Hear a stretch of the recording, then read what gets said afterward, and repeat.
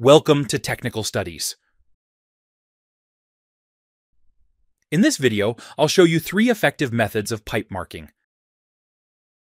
Imagine you need to mark a piece of pipe for a spool, and the pipe size is between 6 inches and 10 inches. Most of the time, new pipe ends are machine beveled. However, as good fabrication practice, always check that the pipe end is square before you mark any length.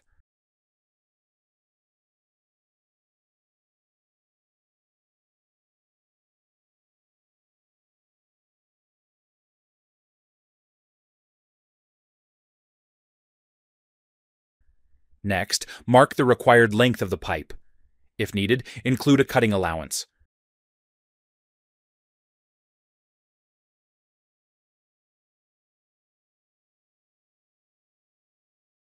Use a wraparound tool to draw the circular line around the pipe.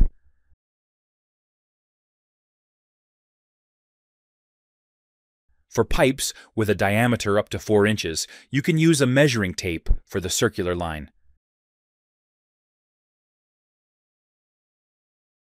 For pipes larger than 10 inches, again, check the squareness of the pipe end before marking.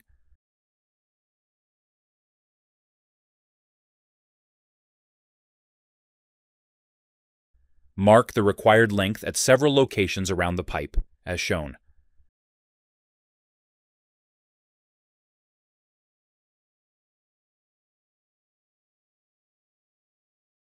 Finally, connect the marks using a bend scale or straight edge.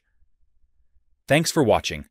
If you found this useful, please like this video, leave a comment, and subscribe to our channel for more fabrication tips.